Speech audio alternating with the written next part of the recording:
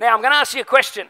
And uh, if, you, if, if, you know the, if you, you know the answer, don't say it because I want to feel like I'm really smart this morning with what I'm about to tell you, right? Who's ever heard of hyponatremia? Anyone ever heard of hyponatremia? Nobody. A couple of you have. Okay, good. But you didn't say nothing. I appreciate that. Thank you so much. It's really good. Hyponatremia. Here's what it is it's a condition that's brought on by drinking too much water. Did you know that? Did you know you can drink too much water and it becomes not good for you? That's right. You can, you can literally die from drinking too much water. Um, about I can't remember how many years ago now, we, we moved from, Bris- from India back to Brisbane, Brisbane to Ballina. And before we were pastoring in Ballina, we were running a YWAM training school for a few years called a School of Evangelism. We would get students flying in from all around the world. And we had this young guy came in from New Zealand. And I remember it was the, towards the back end of the school, a couple of weeks to go. And I got a phone call saying, Alan, you've got to get to the hospital. Um, this guy is in the hospital. And so I, I went to the hospital, and here he is, and, and, and he was unrestrainable. He was like fighting. There was four of us trying to hold him down so the doctors could actually strap him in and, and do whatever it is medically they needed to do with him and so on. And it was, it, it was like a, a scene out of a movie. I didn't know what, what, what's happened to this guy. I mean, this one minute you're telling people about Jesus, the next minute you're thrashing about like you got, you know, stuff going on. And, and it turns out that what happened was he, he decided to just drink too much water. And he just sculled and sculled and sculled over the course of 48 hours that much water that it had an impact on his brain and his body and everything like this. And he ended up with this uh, condition. You can drink too much water. Who would have known? Do you know when water comes into your body? How many of you know it also has to go out? Do you know that? It actually has to leave you. When, when that water flows into you, it has to flow out of you. That's healthy and normal. And now what I'm going to do is I'm going to tell you the four normal natural ways that water flows out of your body. Anyone know that? I'm going to tell you just in case you don't. I don't want this story to be half finished. So we get water into our bodies, but it's got to leave our body. And, and the four main ways it leaves. Here's a biology lesson. Who came to church for a biology lesson today?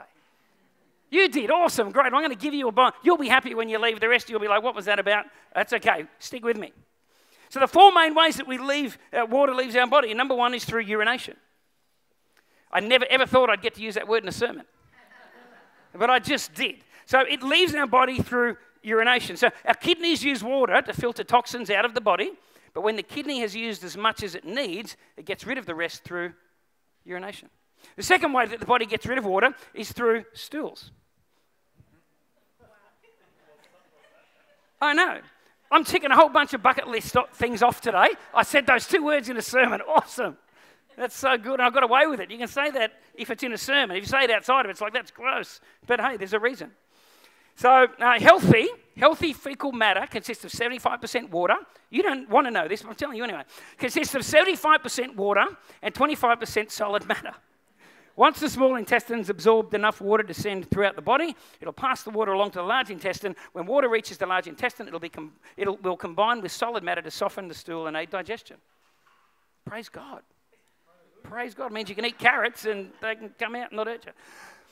The third way that we lose uh, water is through breathing. Who knew that? Breathing. Yep. The majority of the water you drink is absorbed into your bloodstream. Absorption occurs after the water passes through the stomach into the small intestine. The small intestine is around 20 feet long. It's the organ primarily responsible for water absorption through its walls and into the bloodstream. From here, water will travel to cells across the body, providing them with the hydration to perform daily functions efficiently. And the fourth way that we lose water, and everyone would probably know this one, would be sweating. Exactly right, through sweating. So, sweating is a natural way that the body regulates its temperature. It's also what I was doing when I told you the first two ways that you lose water in your body. You might not have noticed, but. If you've got a Bible there, turn with me to John chapter 7, hey? Hey? It's not in the top four, sorry. Are you the biology teacher here or me? I don't think you were ever a biology teacher, Rod. You came over here on a ship, remember that? I know people like you. John chapter 7. If you've got a Bible there, collection of ancient documents that we call a Bible, can you turn with me to John chapter 7? Verse 37 to 39. Here's what it says It says, On the last and greatest day of the festival, now, the festival we're talking about is, is a Jewish festival. They had these big festivals that they celebrated every year. This one was the Feast of Tabernacles. Now, the Feast of Tabernacles was there to uh, celebrate the, the bringing in of the harvest So they were an agrarian society and they planted and so on. So it would celebrate the bringing in of the harvest, but it was also to commemorate them coming out of Egypt, their journey out of Egypt. There were seven, I think, major festivals. Three of them uh, combined this idea of celebrating and remembering their journey as they came out of Egypt. And this is one of those festivals where Jesus is at. It says on the last and greatest day of the festival. So the festival itself went for, for eight days. Uh, about seven to eight days. Uh, and i will I'll tell you what happened on seven of those days. This is the last and the greatest. So this is the eighth day, on the last day. Kind of takes my mind back to the prophecy of Joel that uh, in the last days, he says, I'll pour out my spirit on all flesh. Your sons and daughters will prophesy. You'll, you'll, you'll have dreams and visions and so on. There'll be this outpouring of the Holy Spirit. I wonder whether somewhere in John's mind, as he's writing this, he's actually thinking of that prophecy as well. But he says, On the last and greatest day of the festival, Jesus stood and said in a loud voice, Let anyone who is thirsty come to me and drink. Whoever believes in me, as the scripture has said, rivers of living water will flow from within them. In the Greek, it literally means that they will flow from his belly, uh, from the innermost part of your being. He says that living water will flow from you. And then in verse 39, he says, By this he meant the Spirit. So, so Jesus says, If you're thirsty, come and drink. But what he's really talking about is he's not talking about water, he's talking about the Holy Spirit. And John says, He meant the Spirit who those who believed in him were later to receive. Up to that time, the Spirit had not been given since Jesus had not yet been glorified. Jesus was not just talking about natural water, he was actually talking about his Spirit. He's saying, If you're thirsty, come to me and drink. Now, now just to give you a little bit of background on what all the audience had seen for seven days up until that last and great day. During this feast, one of the, the, the, the, uh, rituals that would take place is that the priests would get a, a, a water jug and they would go to the pool of Siloam and they would fill it up with water. And then they would walk from there with the jug with a procession of people. And they would go through, and there'd be uh, shofars sounding and different things going on. And they would carry the water to the altar, and they would empty the water at the base of the altar. So I want you to imagine that on day one, they're getting this water, and they're walking along, and everyone's watching it, and the water gets poured out at the base of the altar. On day number two, the priest fills a jug, carries the water, walks over, pours it out at the base of the altar. He does it on day three. He does it on day four. He does it on day five and day six and day seven. And on day eight, Jesus stands up and using this imagery as a background, says, If anyone thirsts, he says, Come to me. Come to me. And then he says, Out of your belly will flow rivers. In other words, if you're thirsty, come to me. What does that mean? It means I'm going to, if you're thirsty, I'm going to put something in you so that you're not thirsty anymore. What happens when we're thirsty? We drink what? Water. We put fluid in us and it hydrates us and so on. But how many of you know that you can't put too much in you? You've got to also regulate that and get a bit out, don't you? And Jesus is talking here not just about water, but it says he's talking about the Spirit. He's talking about the Holy Spirit. And so for seven days, they would see this pouring out, this filling and this pouring out. Now, in the mind of the people that were watching this procession, here's what was going on. When, when the priest would fill the water jug, they would follow along and there would be kinds of ceremony and different things going on. When the water was poured out, in the minds of those watching and those there, they saw the pouring out of the water as an offering being given to God. The pouring out was an offering saying, Thank you, Lord, for the grain and everything you've given us for the last 12 months, but it was also a petition to say, We need more. So we're pouring this out but we need you to give us more. We're thanking you for what we've had, but we're asking you for more. This is what's going on in the background here when Jesus stands up and says, If anyone thirsts, come to me. There's this water procession going on. And here's the thing He says, Out of your belly is going to flow rivers of living water. In other words, when you receive the Spirit, He says things are going to happen that weren't happening before you received the Spirit. When you receive the Holy Spirit, when you believe in me and you come to me, things are going to happen that weren't happening before you came to me and before you believed in me. Life is going to be different.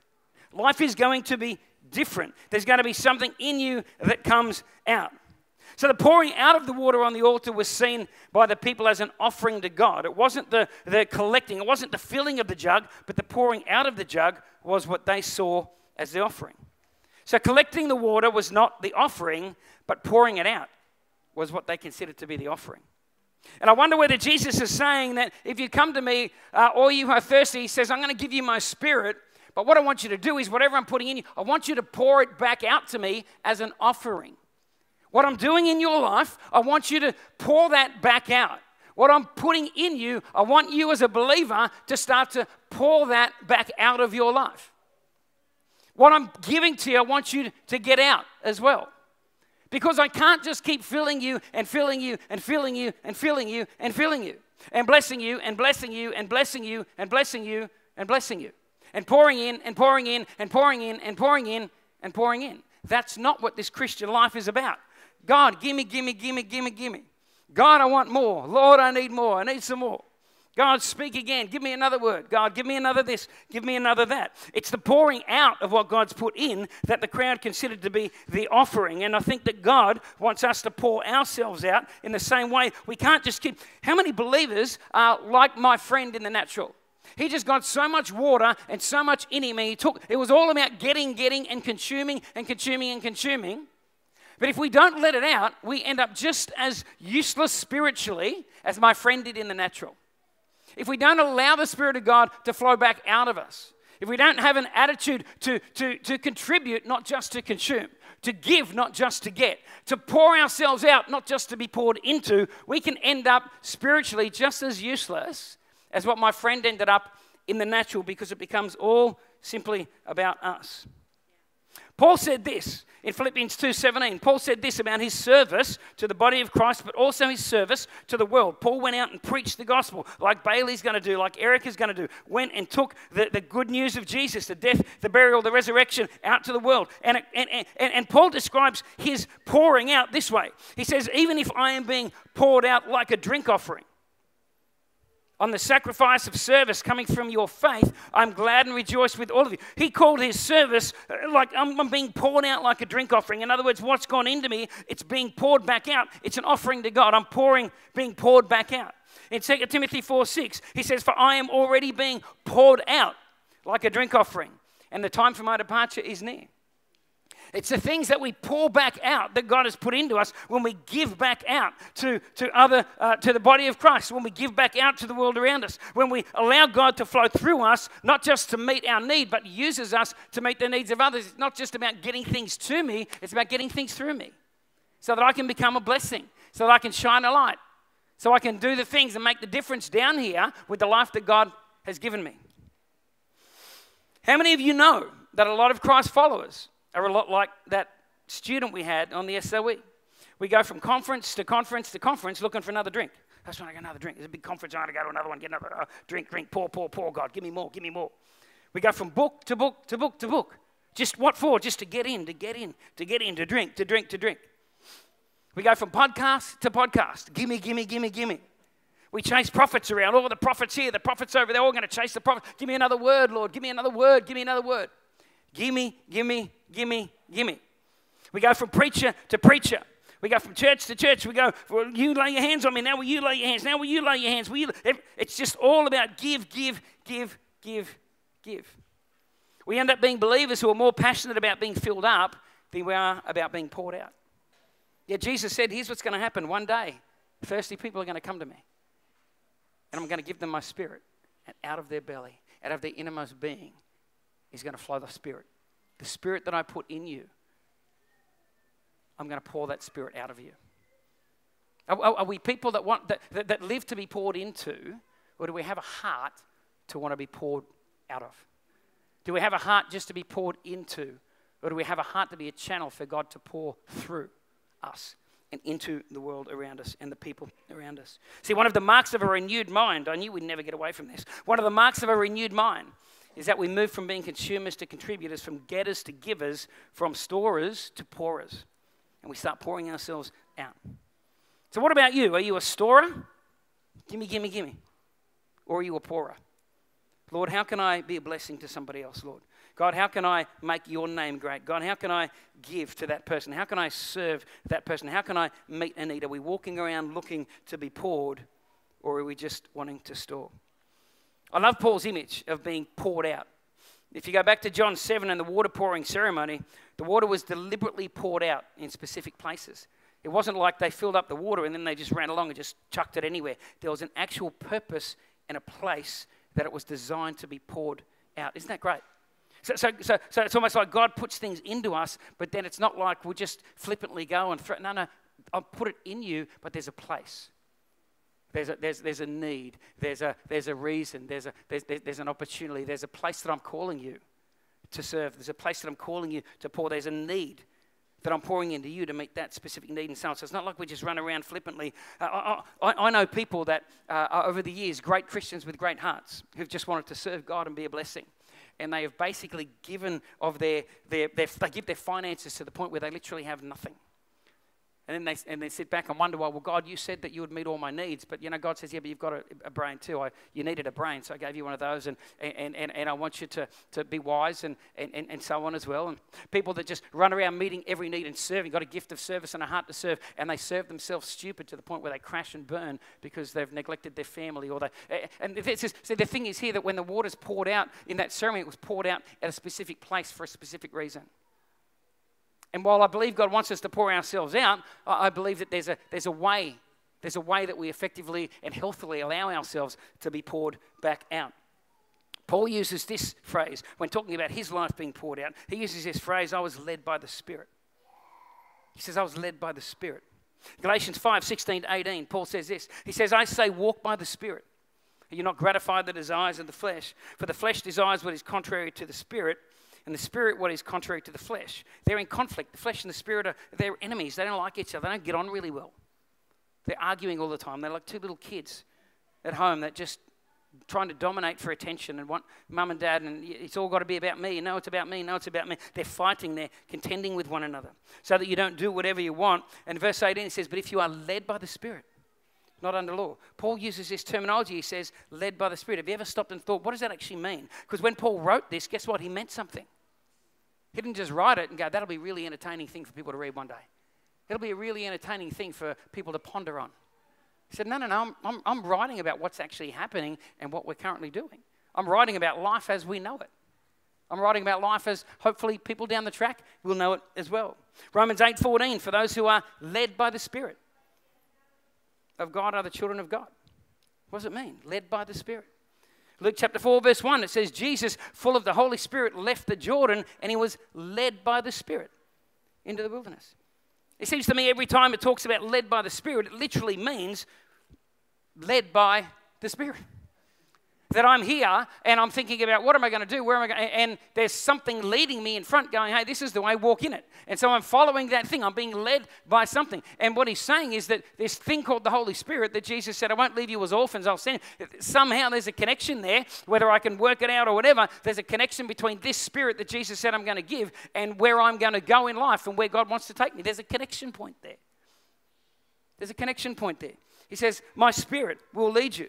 Uh, if you read Acts chapter 16 through to Acts chapter 20, you'll see literally that the, the disciples are going this way to preach the gospel. It says the spirit blocked them, forbade them, stopped them. And then they went this way and the spirit stopped them. Then they had a dream and the Holy Spirit said, Go this way. There's this, this uh, intentionality, there's this reality to being led by the Spirit. It's not just a nice thing we say, I'm led by the Spirit. It's actually real.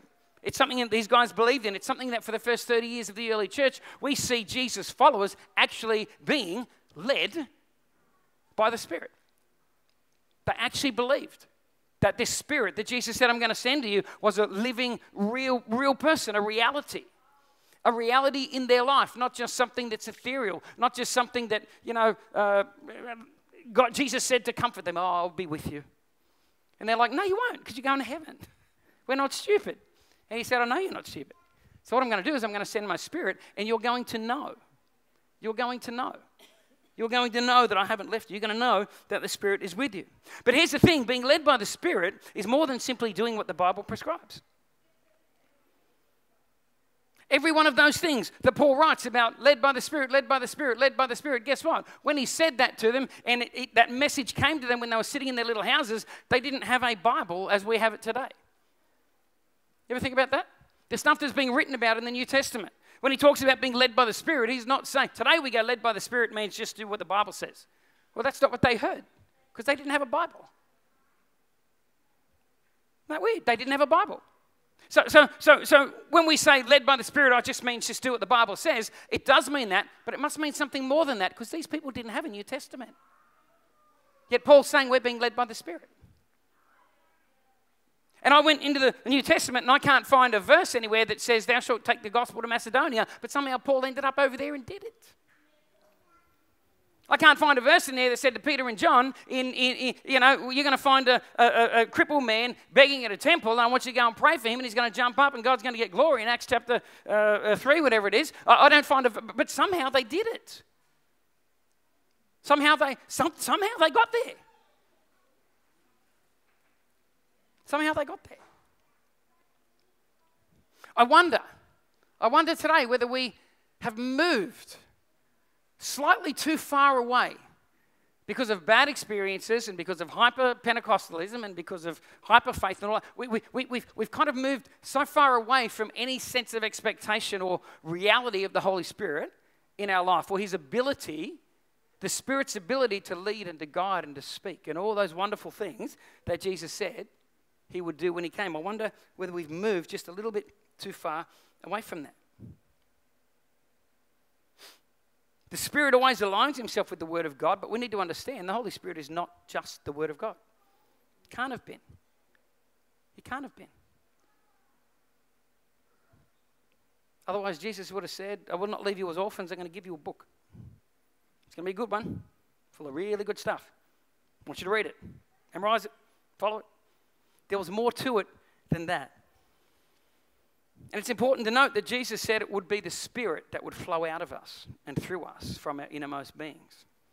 I, I, I, I wonder sometimes today whether we've replaced the Spirit with human intellect. Because if you don't have the reality and the power of the Spirit, what do you do? You either get on your knees and you cry out to God and you say, Lord, God, what, what, what's, what's going on here, Father? We, if you are the same, we're singing songs today about being the same yesterday, today, and forever. If that stuff's real, then God, the God I read about in the New Testament, the God that Paul wrote about, that Peter wrote about, the God that, that, that, that, that James writes about, the God of the New Testament, that God, if He is the same today, yesterday, today, and forever, but I'm not uh, uh, uh, seeing or feeling or sensing or experiencing a God like that, my Christianity feels more like just a great philosophy and a great way of life. If I'm not experiencing that, I've got one of two options. I either get on my knees or I get before the Lord and say, God, search me, know me, see if there's anything going on in here, God, because, Lord, I want you flowing through me like you flew through these guys. God, I want you to use me. I want to make a difference. There are still people need to hear about Jesus in my community, and you spoke to these people and you led them and guided them. There are still sick people that need to be healed, and medical science can't do it. I'd love to lay these hands on them, Lord, and see them healed by your power. There are still people that have demonic things going on in their life. Psychologists, psychiatrists, can't help them because it's not a natural thing, not a chemical imbalance. It's demonic, Lord. I want to be able to walk up to those things with authority, say, Get out of that person. I want that, Lord. So, God, it's not happening. Father, speak to me. What's happening here? Or I replace it with pure intellect. And I just get very intellectual about my faith. Now, I'm the first one to say to you, you need to have an intellectual faith. My wife will tell you that. We need, to have a, we need to have reasons. We need to understand what our faith is about and know how to communicate our faith. And we need to be able to, to be smart. Faith is not dumb, faith is smart. But we don't want to get so far inside our heads and so far inside that intellectual rabbit trail that we forget God is alive. Our God is alive. Our God is alive. 1 Corinthians chapter 2, verse 1 to 5, Paul writes this to the Corinthians. He says that, uh, and so it was with me. He says, Brothers and sisters, when I came to you, I did not come with eloquence of human wisdom as I proclaimed to you the testimony of God. For I resolved to know nothing while I was with you except Jesus Christ and Him crucified. I came to you in weakness, in fear, and in much trembling. Think about that. Paul said, I came to you, I was weak, I was fearful, I was even trembling. But the point is this he came anyway, didn't he? He did it anyway. He did it anyway. He didn't sit back and go, God, give me a goosebump and make me feel good. And no, no, I know this is right, Lord. And he came and he did it. And he says this I came to you in weakness and fear and great trembling. Verse 4 My message and my preaching were not. If anyone could have used wise and persuasive words, Paul was a very highly intelligent dude. He was a highly intelligent guy, trained by some of the smartest religious minds of his day. He knew his stuff. He knew his stuff. He says, But when I came to you, I didn't come with wise and persuasive words, but with a demonstration of the Spirit's power. That tells me something about the Spirit. There's a demonstration aspect to the Holy Spirit. My wife went to a, a party recently, a, a, what do you call that thing? A thermomix party. And, and, when she went to a thermomix party, they didn't just sit down and get out a manual and read about what a thermomix can do. That's not what you demonstrate. That's not a demonstration. That's a book reading. And so what happened was they went there and the lady did the thermomix thing and they baked cakes and created chickens out of nothing and they painted the house and, and, and, and, and built a car like these things can do everything. Thermomixes, they're unreal apparently. And, and the, but what they did is they showed, they demonstrated you. The people were there, not just being read in a book about here's what a thermomix does. They saw what the thermomix did. It was demonstrated to them. And Paul says this He says, I don't want to come to you with wise and persuasive words. I want to come with a demonstration of the Spirit's power. And then he says in the last verse there, is we got it up there, so that your faith might not rest on human wisdom, but on God's power. Our faith rests on something other than just great intellectual knowledge. It rests on God's power.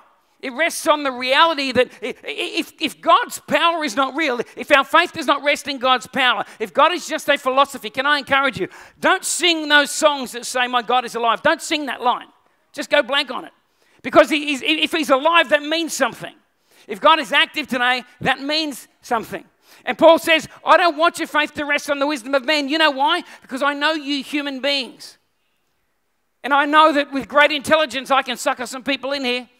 But here's the thing if I can get you intellectually to follow Jesus, because I've been very intelligent in how I presented it, and it's purely an intellectual house of cards that your faith is resting on, one day someone's going to come along with a lot more intelligence and a lot more smarts, and they're going to pull the bottom card out, and the whole thing's going to fall.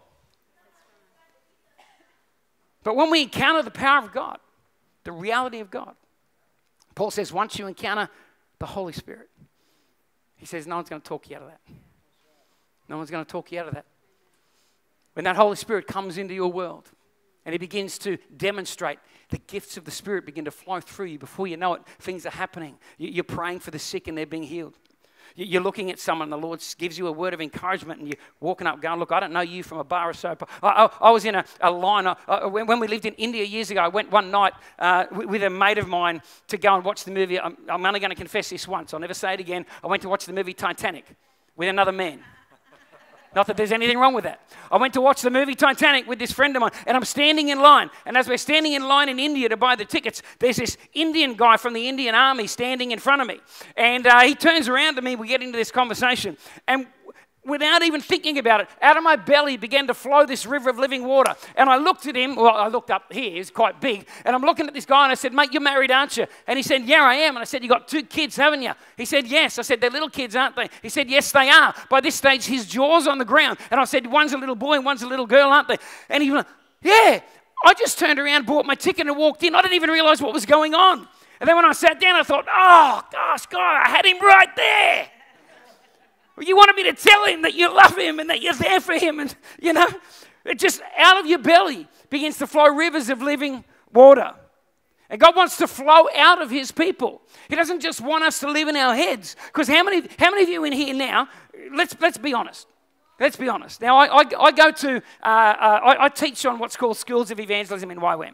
And I ask every student at the very start, and the schools can range from 12 kids to, to 80 kids. And I'll say, put your hand in the air. If the thought of telling somebody about Jesus absolutely freaks you out, and it's, you know, you, your heart is you want to do it, but it freaks you out because you're thinking, I don't know enough and I can't answer. And I say, put your hand up in the room. And I'll tell you now, 95% of the hands will go in the air. 95% of the hands will go in the air. And here's why because if you think that reaching the world for Jesus, if you think doing things for God, making a difference for God is all going to come out of your head, then most of us are in trouble. Right? Most of us are probably not you. You're a very intelligent man. I've had some conversations with, with, with, you. And Rod, Rodney as well, very intelligent man. And there's lots of other intelligent people here. But let me tell you something I don't care how intelligent you are, you can't cure cancer. I don't care how intelligent you are, you can't, if you can't lay your hands on the sick, that there's no point where God goes, I'm looking for a certain IQ before I begin to use you. He's not doing that. One of my favorite stories is in, in, in, in Acts, uh, might be chapter 4. I haven't got the verse there, but it, it says that, that uh, I think it was Peter and John, it was just after the, the guy was healed.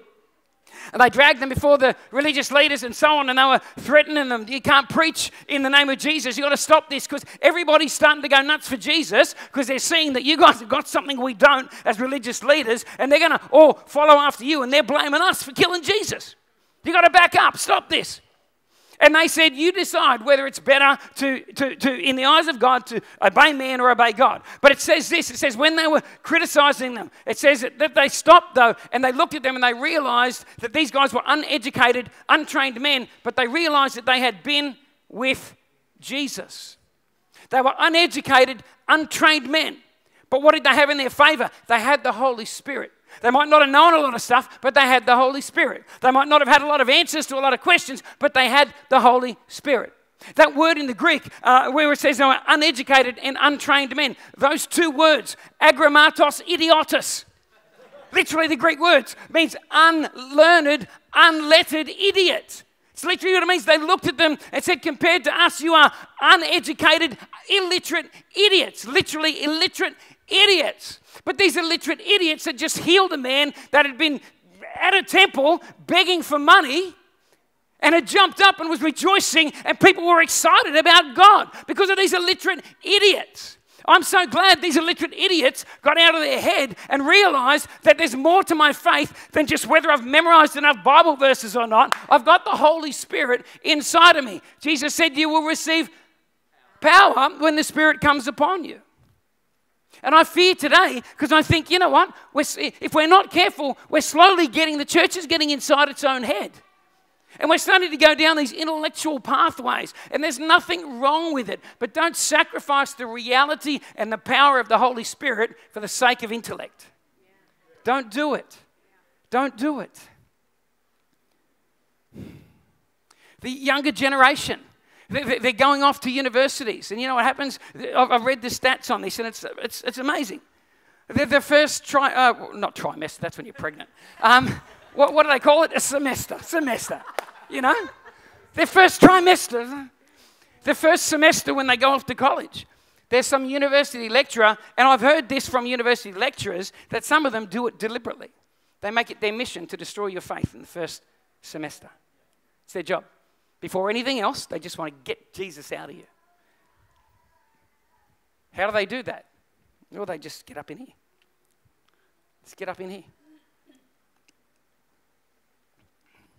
Before you know it, they, they're contacting you or writing you letters going, ah, can you? I was just told this. Grew up in church and I was told this, but this guy's just in three classes just completely ripped that house of cards down. What, what have you got? I think, well, I might not be able to intellectually go where some of these guys go, but hey, let me pray for you. Let's go and see if the sick can be healed in Jesus' name. Let's go and see if, if, if, if, if the power of Jesus still inhabits the earth today. Let's see if God is still using his people. Let's see if God is still flowing through his people. Because, yeah, intellectually, yeah, there, there's, you know, up and down. I can talk you out of faith. I can talk you back into faith. Someone else can talk you out. But, but it's not all about that. None of that is bad. Don't walk away saying, Alan says we should all be dummies. I'm not saying that. What I'm saying is this that when Paul talks about being led by the Spirit, he's actually talking about a very real uh, uh, thing not just some idea out there in the sky. He's talking, when he says, I'm being led by the Spirit, he says, the children of God are those who are led by the Spirit. When Jesus was led by the Spirit, when it says in Acts 16 to 20, they were led by the Spirit. When we read about dreams and visions, when we read about healings and miracles, when we read Joel's prophecy, in the last days I will pour out my spirit on all flesh, and there will be dreams and visions and prophecies. We're talking about demonstrations of something tangible and real something tangible and real. And you know what? I think as a church, as a church, we just need to be careful that we don't sacrifice all of that on the altar of intellect. Because it, let me tell you something, it's easier to justify in my own life why God, uh, uh why Lord, um, so when I was younger, I'll, I'll, wrap up, we're running out of time. When I was younger, earlier in my faith, and I wasn't so smart, I, I, I could, I could spend days standing here telling you about the healings, signs, wonders, and miracles that I got to see when I was too dumb to realize that I was probably praying wrong and you know, putting the wrong hand on people and I had my tongue on the wrong side of my mouth when I did it. I didn't know. What I did know is that I had this encounter with Jesus at 19. He came and he transformed and he changed my life.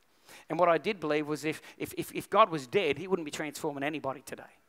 Because dead people can't change nothing. Right? Okay? But God is alive. And God came and He transformed my life. And so the God that transformed my life, God changed my life before I'd memorized a single Bible verse.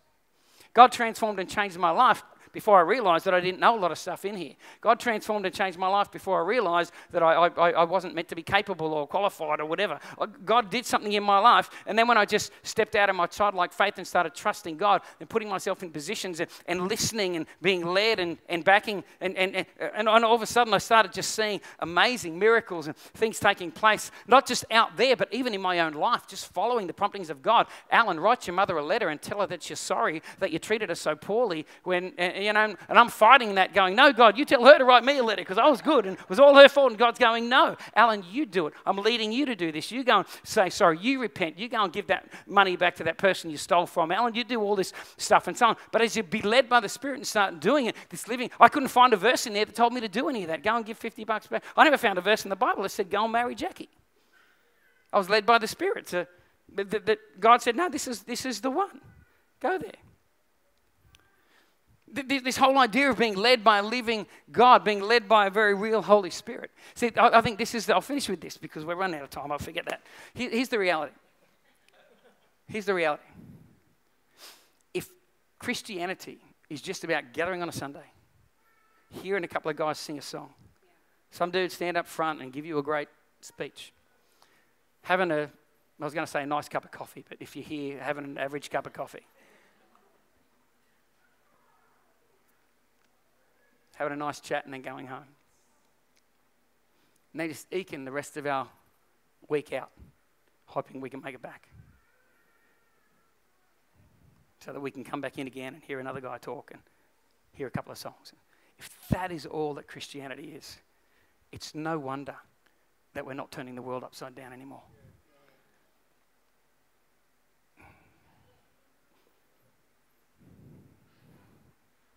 We, we need to reclaim. And if, you, if you're not ready to reclaim, you need to rethink about the person of the Holy Spirit. Go back, eh, go to John chapter 14 through to 16. Underline or get a piece of paper and write down everything that Jesus said the Spirit would do. Do. In other words, demonstrate. Active, real, tangible. Go to the book of Acts, start at the beginning and read right through. And everywhere you see the Spirit guiding, directing, the Spirit said, Set apart Saul and Barnabas to the work to which I've called them to. The Spirit gives this vision to Peter while he's on a roof and says, Don't you call unclean what I call clean.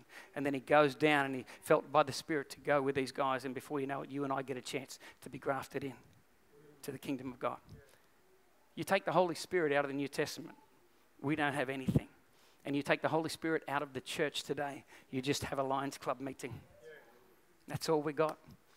Amen. I'm hungry for more. I hope you are too. I hope you are too. I feel like God's calling us to something more. I, I, I, I, want to finish this off next week and talk a little bit more practically about being led by the Spirit. But what I want to encourage you this week is I want to encourage you this week to do something. In the cling and the clutter and the clatter of your life, will you try to find some spaces, just small spaces, even if it's when you wake up first thing in the morning, to just quiet yourself? Try to get rid of the distractions, the noise, chuck your phone to the other end of the house, get rid of that thing, and, and just sit and just listen Listen to that still small voice on the inside of you. Listen to see if there's not a prompting or a nudging or a, a question being asked or an answer being given. Just, just check and see what is it that the Holy Spirit may be saying to you. And then if you're bold enough and confident enough, why don't you take a wild, radical step of faith? And why don't you actually start to walk into that thing? Why don't you start to accept that invitation? Why don't you start to move in that direction? And let's just see.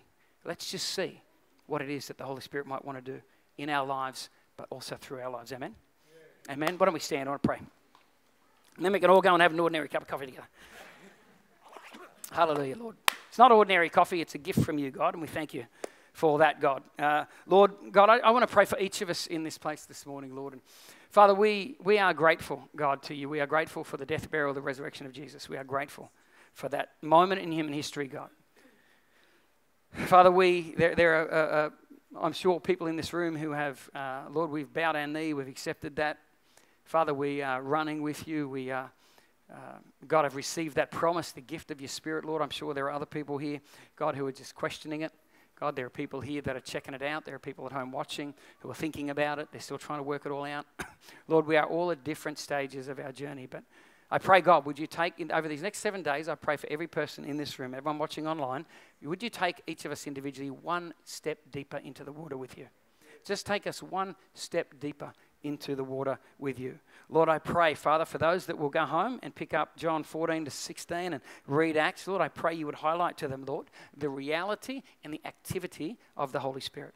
And I pray, Father, that you would also show them that there is no use by date anywhere in the New Testament that says these things shouldn't and can't happen again. Father, place within our hearts a hunger for the reality and the presence of God. That, Lord, when we, when we gather together, Lord, it wouldn't just be to sing and to hear, but it would be to listen to the Spirit, to experience the Holy Spirit in our midst, in our presence corporately. But, Father, when we walk out of this room as well, Lord, that we would walk out there knowing that we're not going by ourselves, we have the Holy Spirit with us, Lord. Father, you have placed within us gifts, you have placed within us power. God, there are, there are fruit of the Spirit in us that is being cultivated that is transforming and changing us into your image. God, I pray with every circumstance and situation that we face, no matter how big, how small, no matter how, how hard the, the, the roadblock may be to get through, Father, I pray that those in this room that are your people, they would know, they would know something would rise on the inside and they would go, hang on a second, this is not just me, I've got the Holy Spirit as well.